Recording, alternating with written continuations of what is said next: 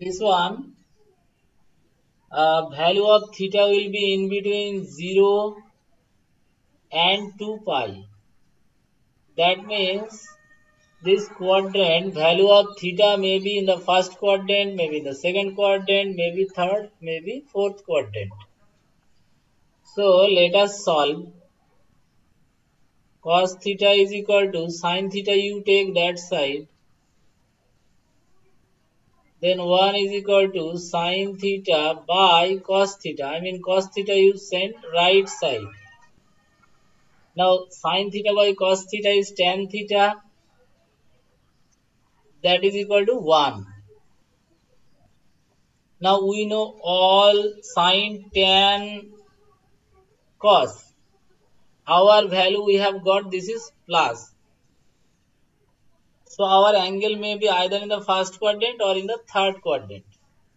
So again I am writing tan theta is equal to 1. From here I will find the value in the first quadrant and from here I will find value in the third quadrant.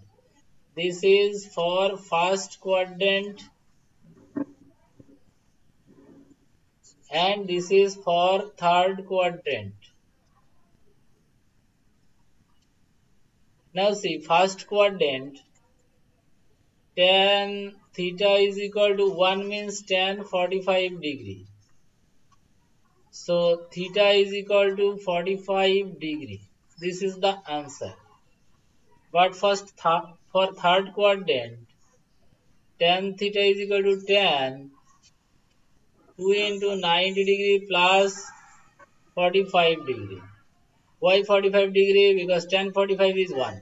Why 2 into 90? Because you are going to the third quadrant. This is 1 into 90 then this is 2 into 90 plus 45 up to this place.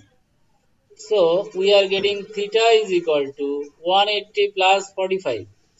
Here 180 plus 45 that is 225. This is also one answer.